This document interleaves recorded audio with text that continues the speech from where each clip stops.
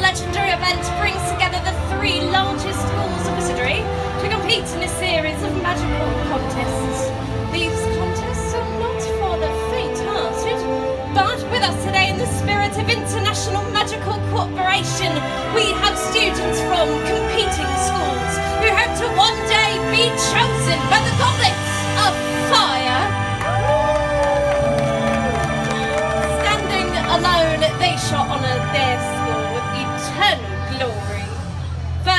friends from the north, please greet the proud sons of the Durmstrang Institute.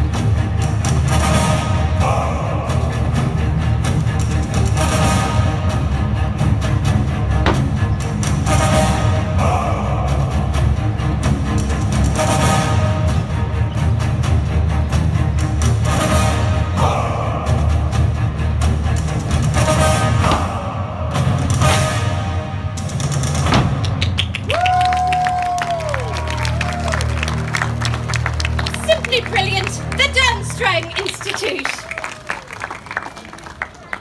Next, please join me in welcoming the lovely ladies of the Beauxbaton Academy of Magic.